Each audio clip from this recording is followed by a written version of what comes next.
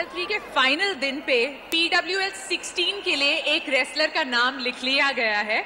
और वो है योगेश्वर दत्त जी के बेटे जो कल ही पैदा हुए हैं। कंग्रेचुलेशन फ्रॉम ऑल ऑफ़ धन्यवाद धन्यवाद सर आप मुझे बताइए पीडब्ल्यूएल के फॉर्मेट के बारे में आप क्या सोचते हैं?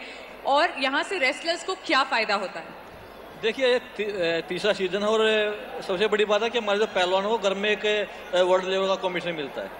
जिससे क्योंकि यहाँ पे वर्ल्ड चैंपियन है ओलंपिक ओलंपिक चैंपियन है एशिया के मेडलिस्ट है। एक जो हमारे जूनियर बच्चे हैं उनको एक बहुत अच्छी एक दिशा है जिससे हमें आने वाले टाइम में उसका फ़ायदा मिलेगा और ओलंपिक है बीच में अभी इसी साल है एशियन गेम्स हैं उसमें हमारे पहलवानों को फ़ायदा मिला बहुत ज़्यादा। बिल्कुल फ़ायदा तो बहुत मिलता है। पूरा देश और हम ये जानना चाहते हैं कि आपकी ओलंपिक्स की तैयारी कैसी चल रही है।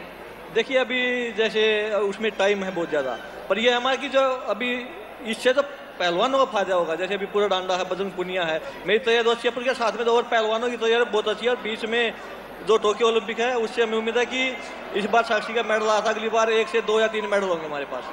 बिल्कुल होंगे, यही सब हम आशा करते हैं। Thank you very much and back to you